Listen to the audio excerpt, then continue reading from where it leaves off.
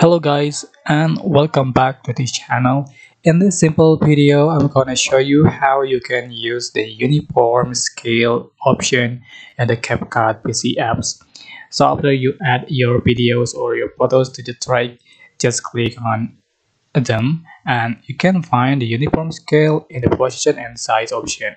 Just click video basic and you can find the position and size and just um, expand and you can find the uniform scale so how you can use just turn on or turn off to activate um, sorry you can um, activate for uniform scale to change for the scale uh, the height and the width uh, uniform.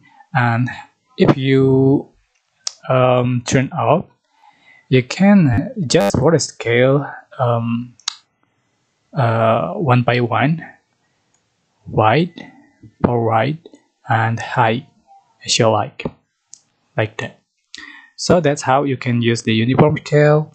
I hope this tutorial was helpful for you guys. Don't forget to like comment share and also subscribe. Thank you so much for watching